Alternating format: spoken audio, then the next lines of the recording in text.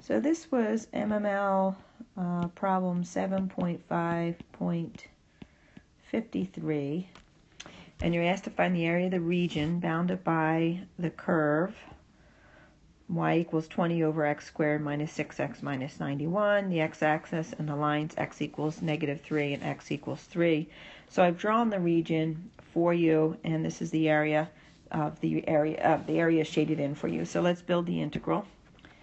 The integral is going to go from x equals negative 3 to x equals 3.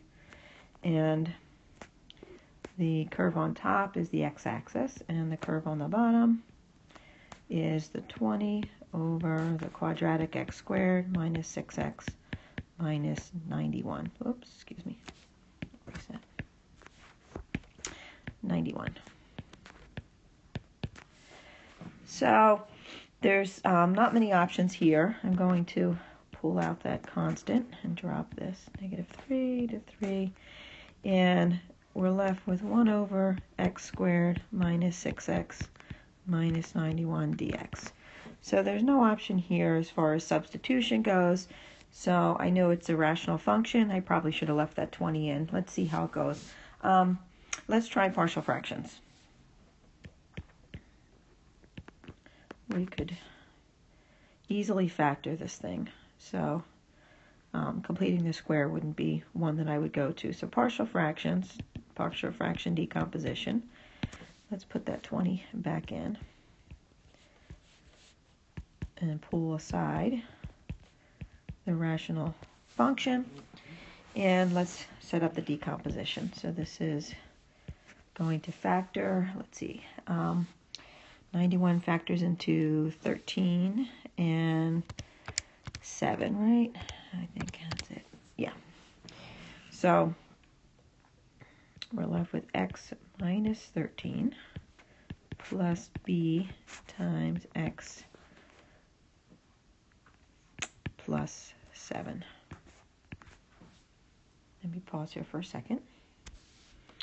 So let's continue this partial fraction decomposition and multiply the entire equation by the denominator factored and you're left with minus 20 is equal to a times x plus 7 and b times the quantity x minus 13. So I think the easiest thing to do here would be to, to pick values for x. So I'm going to let x equal negative 7 so that I can get rid of this term so I get negative 20 is equal to A times 0. Oh, I have to pause again, excuse me. So continuing with this, when x is equal to negative 7, I get negative 20 here. So b is equal to 1. And if we let x equal 13 in order to get rid of this term, you get minus 20 is equal to A times the quantity 13 plus 7 plus B times 0. And here you're left with A is equal to negative 1. So now let's put the coefficients back in and integrate. So now we can replace the integrand. And we're left with minus 1, a is minus 1, so minus 1 over x minus 13 plus 1 over x plus 7 dx.